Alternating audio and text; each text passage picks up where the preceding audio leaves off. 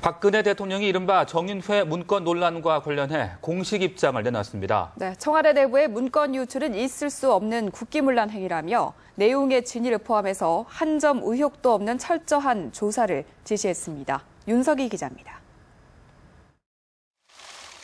박근혜 대통령이 정윤회 국정개입 의혹 문건 논란과 관련해 처음으로 공식 입장을 내놨습니다. 박 대통령은 먼저 문건 유출을 국기 문란 행위로 규정하고 이런 공직기강 문란도 반드시 바로잡아야 할 적폐 가운데 하나라고 밝혔습니다. 최근에 있을 수도 없고 있어서도 안 되는 일이 일어났습니다.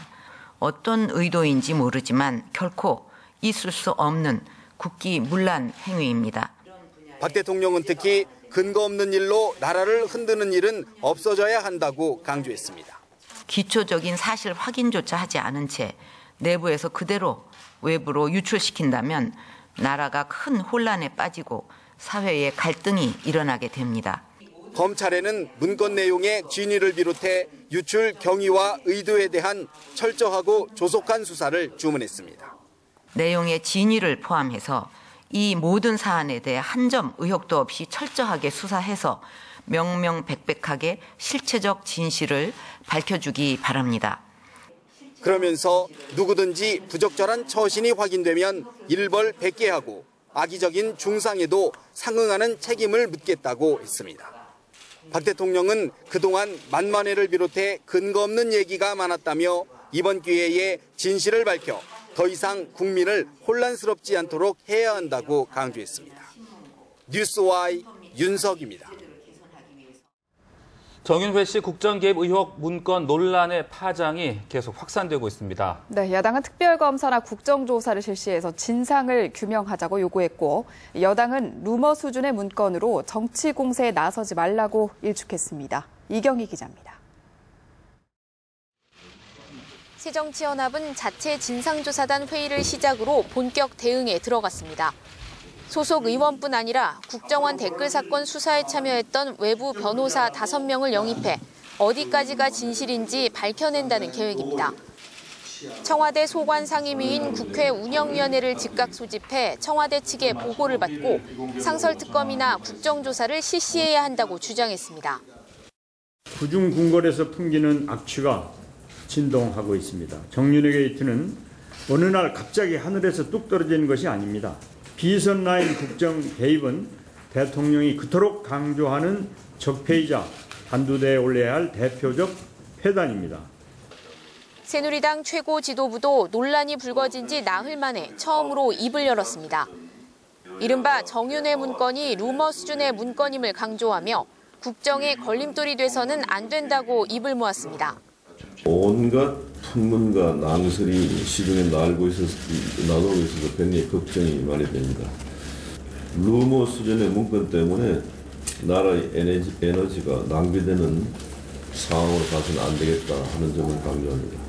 국가 리더십을 흔드는 시도는 용납될 수 없다며 신속한 검찰 수사를 촉구하는 한편 지나친 정치 공세로 연말 국회에 발목을 잡아선 안 된다고 야당에 요구했습니다. 문서 내용의 진위 여부를 두고서도 여야는 엇갈렸습니다. 새정치연합 박지원 의원은 보도된 문건은 전체의 10분의 1도 안 된다며 지난 3월 이미 유출됐고 청와대가 회수하고자 상당히 노력했다는 소문도 들린다고 주장했습니다. 반면 새누리당 김재원 원내수석 부대표는 문건의 내용이 사실이 아닌 것으로 파악하고 있다며 2007년 당시 한나라당 대통령 후보 경선을 앞두고 정 씨에 관한 소문을 조사했는데 대부분 사실과 다르다는 것을 확인했다고 밝혔습니다. 뉴스와 이경입니다.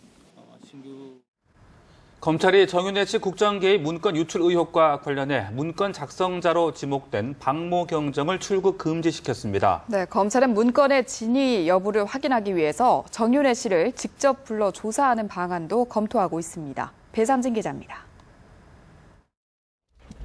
검찰은 청와대 내부 문건을 유출한 의혹을 받고 있는 박모 경정을 출국 금지 조치하며 수사가 본격화됐음을 알렸습니다. 검찰은 문건의 핵심으로 등장한 정윤혜 씨 등을 불러 조사하는 방안까지 검토하고 있는 것으로 전해졌습니다. 정윤혜 씨는 한 언론과 인터뷰에서 모든 것을 조사하라며 하나라도 잘못이 있으면 감방에 가겠다고 밝혔습니다. 검찰 수사의 초점은 문건의 진위 여부 확인과 어떻게 유출됐는지 경로를 파악하는 것으로 압축됩니다. 청와대는 문제의 문건이 떠도는 풍문을 정리한 수준이라고 선을 그었지만 검찰은 문서 내용처럼 정 씨가 청와대 비서관들을 매달 정기적으로 접촉했는지 문서의 작성 이유와 보고 라인을 밝히는데도 주력할 방침입니다. 청와대에서 문서가 어떤 방법을 통해 유출됐는지도 관심사입니다. 박경정은 자신이 문서 유출자가 아니라며 관련 사실을 전면 부인하고 있습니다.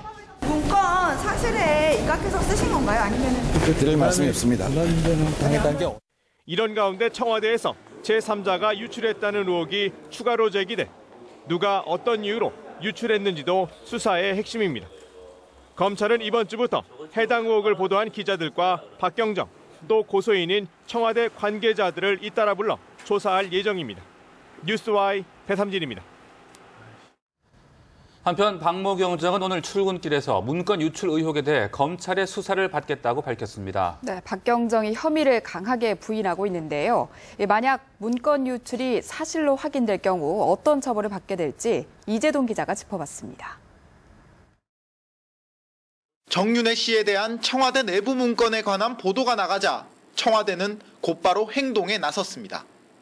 문건 작성자로 지목된 박모 경정에 대해 공공기록물 관리법 위반 혐의로 검찰에 수사를 의뢰한 겁니다.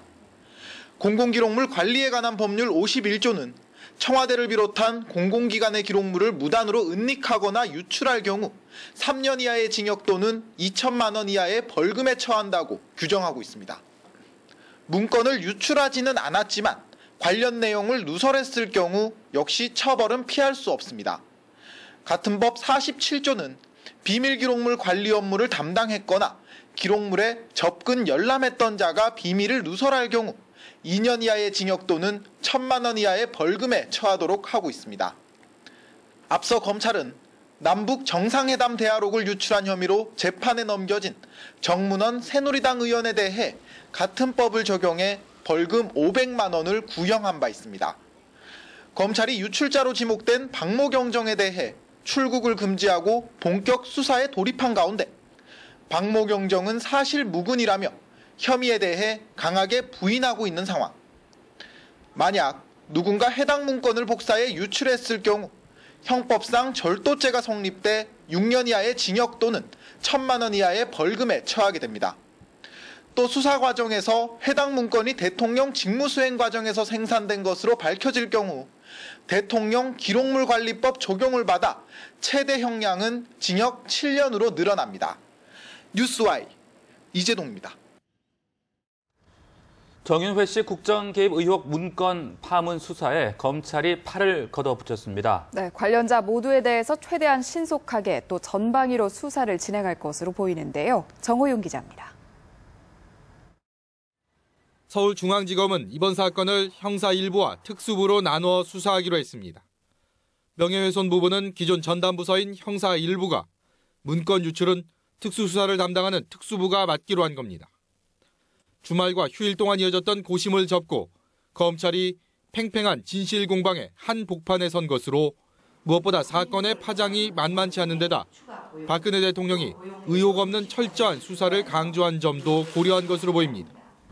검찰은 우선 문건을 작성한 박모 경정이 문건을 보관했던 것으로 알려진 서울경찰청 정보보관실 분실과 박 경정의 자택 등을 압수수색해 유출 경위 등을 집중 수사할 방침입니다.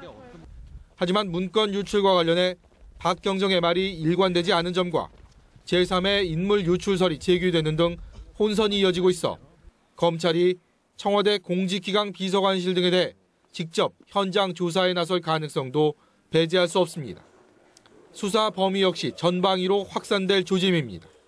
박경정은 물론 문건에 등장한 청와대 비서관 3명 등 고소인 8명, 여기에 당시 청와대에서 근무하던 민정수석 비서관과 공직기강 비서관도 검찰로 불러 조사에 나설 것으로 예상됩니다. 수사 결과에 따라선 문건의 최종 보고 라인으로 보이는 김기춘 대통령 비서실장을 소환 혹은 서면 조사할 가능성까지 점쳐집니다. 뉴스와이 정호윤입니다. 네, 이처럼 국정 개입 의혹의 한가운데 서게 된 정윤회 씨 측은 언론에 보도된 의혹은 사실 무근이라며 모든 법적인 방법을 강구하겠다고 밝혔습니다. 정 씨를 대리하는 이경재 변호사는 서울 서초동 사무실 앞에서 기자들과 만나 언론에 보도된 내용에 대한 법적 조치를 준비하고 있다며 이같이 말했습니다. 이 변호사는 가시적인 결과가 곧 나온다면서 정 씨도 조만간 관련 의혹을 보도한 언론사 등을 고소하겠다는 입장을 분명히 밝혔습니다. 정윤회 씨는 박근혜 정부 출범 이후 이른바 비선 실세 논란의 중심에 서 있었습니다. 네, 정 씨를 둘러싼 루머가 끊이지 않고 있지만 사실 여부를 확인하기가 어렵거나 확인되지 않은 게 대부분입니다. 문관영 기자입니다. 여의도를 중심으로 떠도는 가장 대표적인 풍문은 정윤회 씨가 마크에서 고위 공직자 인사에 개입한다는 것입니다. 특히 의회의 인물이 등장했는데 추천인이 불분명할 때 정윤회 씨의 이름이 오르내렸습니다.